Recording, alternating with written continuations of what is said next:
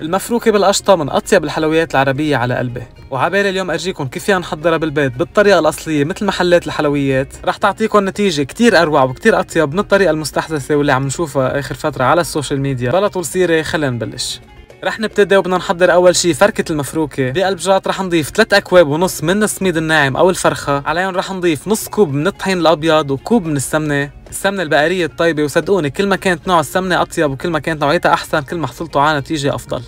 نخلط هالمكونات سوا كتير منيح وبدنا نفرك السميد مثل ما اسمها مفروكه بدنا نفركه كتير منيح بالسمنة. ومن بعدها رح نرجع نضيف تلت كوب من القطر وثلاث ارباع على كوب من المي بحرارة الغرفة. نعجن هالمكونات سوا حتى نحصل على عجينة متماسكة وطرية بنفس الوقت. ورح نرجع نمد هيدي العجينة بصينية للفرن ونبخشها بأصابيعنا من فوق بنعمل فيها فتحات من فوق وبنفوتها على فرن حامي من تحت ومن فوق. أو من تحت بس ما في مشكلة. على درجة حرارة 200 وبتاخذ تقريبا شي ربع ساعة بس أهم شغلة إنه ننشفها. ولو أخذ وجهها لون شوي من فوق ما في أي مشكلة. هذا اللون الذهبي الخفيف ما في أي مشكلة.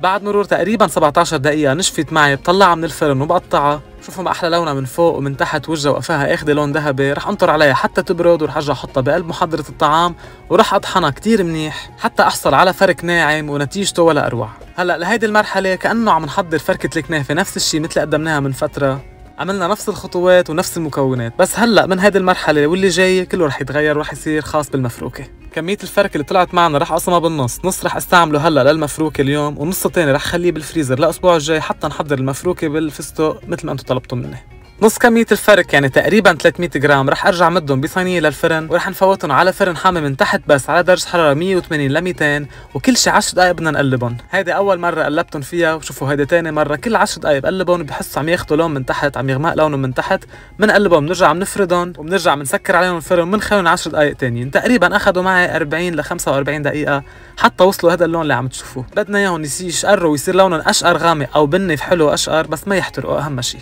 ومن بعدين بدنا ننخلهم وحتى نتخلص من أي أجزاء كبيرة طلعوا معنا حتى يكون الفرك عنا كتير ناعم. كرمال عجينة المفروكه تطلع ناعمة جدا.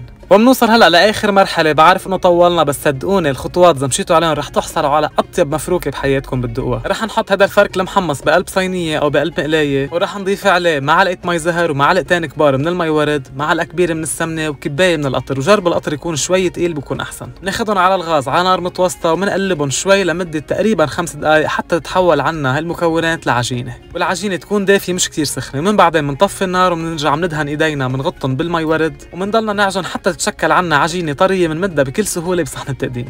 طبعا نسيت لكم نحن قبل ما نبلش هذا الشيء كله بنكون مقليين شوية لوز على جنب بزيت وبنخليهم حتى يبردوا أكيد. عجينة المفروكة صارت مفرودة بقلب صحن التقديم رح نرجع نوزع عليها القشطة على الوجه وأنا هون عم بستعمل القشطة العربية اللي وصفتها موجودة عندي على الصفحة. بنفردها بالتساوي على صحن التقديم وبنرجع منزين لوجهها بشوي من الفستق الحلبي من بعدها بنحط هاللوز اللي قليناه بالزيت ومنزين لوجهها آخر شي بزهر الليمون. هاي الكمية اللي حضرناها عملت لي صحنين وجاط كبير وصحن صغير. وصفة اليوم أطول من غيرها وفيها تفاصيل شوي أكثر بس صدقوني إذا عملتوها بنفس الطريقة حتحصلوا على نتيجة رائعة. تتحدوا فيها أكبر محلات الحلويات العربية. بتمنى تجربوها وتعطوني رأيكم فيها وأكيد تبعتوا لي الصور. وخبروني شو هن الحلويات العربية المفضلة على قلبكم خلال شهر رمضان الكريم. حتى نحضرهم سوا. والصيام مقبول وإفطار شهي للجميع.